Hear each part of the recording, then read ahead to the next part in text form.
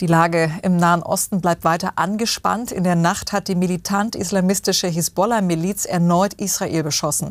Nach eigenen Angaben feuerte die vom Iran unterstützte Terrororganisation Dutzende Raketen vom Libanon aus ab.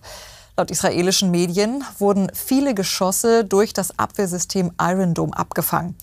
Am Morgen dann sollen bei einem Luftangriff auf ein Flüchtlingscamp im Gazastreifen mindestens vier Menschen getötet worden sein. Das von der Hamas kontrollierte Gesundheitsministerium gab an, das Zeltlager habe sich rund um das Al-Aqsa-Krankenhaus befunden, wo tausende Palästinenser Schutz suchten. Jörg Hoppendiek in Tel Aviv in Gaza soll es Tote gegeben haben nach Angriffen. Was wissen Sie darüber? Ja, diese Angriffe zeigen einmal mehr, dass der Krieg im Gazastreifen, dass der weiterläuft, auch wenn der Fokus gerade woanders liegt. Der Fokus liegt nämlich auf dem erwarteten Vergeltungsschlag des Iran. Wir selber, ausländische Journalisten, wir kommen nicht in den Gazastreifen. Das heißt, wir können diese Informationen nicht verifizieren, ihren Wahrheitsgehalt prüfen. Das heißt, wir sind auf das angewiesen, was wir von den Kriegsparteien hören. Die Hamas berichtet eben von äh, diesem Angriff auf das Krankenhaus und sie berichtet auch von einem Angriff auf eine Schule in Gaza-Stadt. Bei diesem Angriff, so sagt die Hamas, seien 17 Menschen getötet worden. Sie berichtet auch über Verletzte. Und die Menschen, die sich in dieser Schule aufgehalten haben sollen, das sollen Geflüchtete sein. Die Israelis sagen das Gegenteil. Die, das israelische Militär sagt, dass diese Schule in Gaza-Stadt, dass die als Kommandozentrale der Hamas genutzt wurde. Schauen wir nach Israel. Der Norden Israels wurde ja erneut vom Libanon aus mit Raketen beschossen von der Hisbollah. Was hören Sie über diesen Angriff?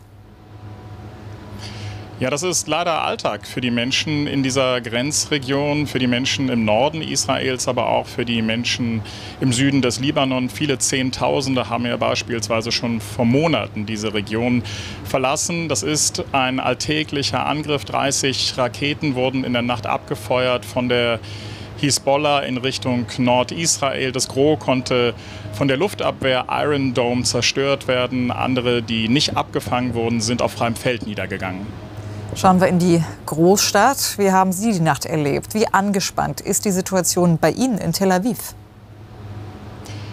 Die Lage ist angespannt, aber ruhig. Hier in Israel startet ja die neue Woche heute. Die Menschen gehen ganz normal zur Arbeit. Am Freitag und am Samstagabend, da hat man es dann aber schon gemerkt, es waren einfach deutlich weniger Menschen unterwegs. Es sind auch weniger Menschen aus ja, Israel nach Tel Aviv gekommen, um das Wochenende beispielsweise in den Restaurants und ähm, Bars und hier am Strand zu verbringen. Grundsätzlich ist es aber so, dass es bislang keine Warnung des Zivilschutzes gibt. Darauf setzen die Israelis hier. Der warnt nämlich vor Gefahren. Mitte April war das bei dem Angriff aus dem Iran so. Da flogen ja in der Nacht vom 13. auf den 14. April 300 Raketen, Drohnen, Marschflugkörper in Richtung Israel. Ähm, und da gab es schon Stunden vorher Warnungen des Zivilschutzes. Deshalb ist die Lage zwar angespannt, aber ruhig. Nach dem Tod von Hamas-Anführer Haniyeh haben der Iran und seine Verbündeten Vergeltungsangriffe angekündigt. Was wird da diskutiert? Wie könnten die aussehen und für wann werden diese befürchtet? Wann ist schwer zu sagen. Das kann in der kommenden Nacht losgehen. Das kann aber auch noch ein paar Tage dauern. Ich habe ja gerade gesprochen über diesen Angriff Mitte April. Dieser Vergeltungsangriff des Iran war ja eine Antwort auf einen äh, israelischen Angriff auf das iranische Botschaftsgelände in der syrischen Hauptstadt Damaskus. Und Mitte April hatten sich die Iraner 13 Tage Zeit gelassen für diesen Vergeltungsanschlag. Das, Zeit, das zeigt, es kann in der kommenden Nacht losgehen, es kann aber eben auch noch ein paar Tage dauern.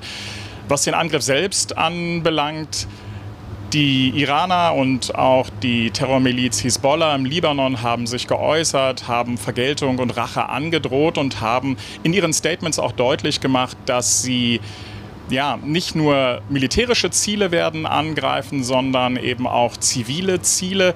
Und der Iran wird eben bei diesem Angriff, davon ist auszugehen, den wird er nicht alleine durchführen, sondern er wird da auf die Achse des Widerstands setzen. Das ist die Hezbollah, Hisbollah und das sind Milizen in Syrien, im Irak und auch die Houthis im Jemen. Und da auch noch mal in die Tiefe gegangen, wie gewappnet ist denn Israel gegen so einen Angriff, der, was ja nahe liegt, bei einem Racheakt vermutlich schwerer ausfallen wird als bisheriger Raketenbeschuss?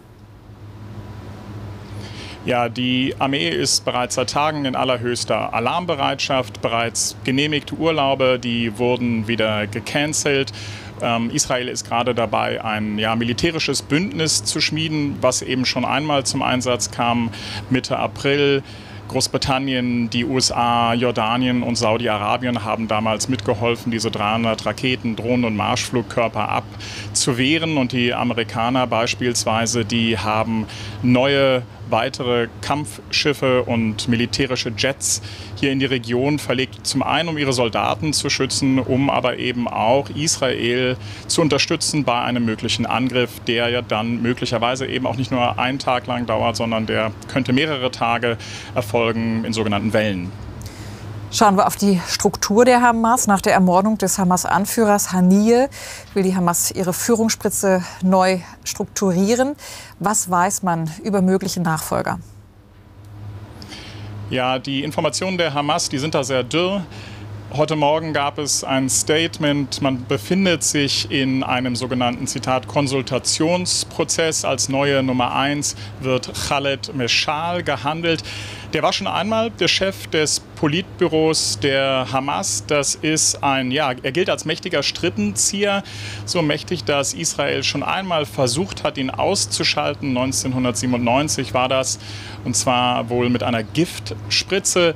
Der Mann lag dann lange im Koma und der internationale Protest war so groß, dass Israel sich gezwungen sah, ein Gegengift an Jordanien zu liefern. Dort hat nämlich der Anschlag auf ihn stattgefunden. Und dann hat Khaled Mishal überlebt und jetzt könnte er eben die neue Nummer eins der Hamas werden. Die Verhandlungen zum Geiseldeal sind ja schwieriger nach der Ermordung Haniyes. Wie groß ist denn die Hoffnung, dass dieser überhaupt noch zustande kommt, dieser Deal?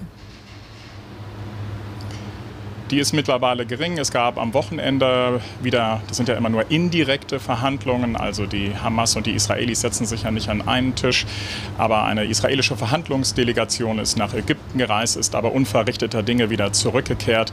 Von daher ist die Hoffnung gering. Dazu kommt, dass es wohl ein ja, Disput, einen mächtigen Krach gibt. Darüber berichten israelische Medien, und zwar zwischen Premierminister Benjamin Netanyahu und seinem Verhandlungsteam. Dazu gehören ja beispielsweise die beiden Chefs des Inlands- und des Auslandsgeheimdienstes. Und da soll es wohl mächtig gekracht haben bei einer Sitzung Mitte der Woche schon über den Kurs im Hinblick auf die Geiselverhandlungen. Danke, Jörg Poppendick, für diese umfassenden Informationen aus Tel Aviv.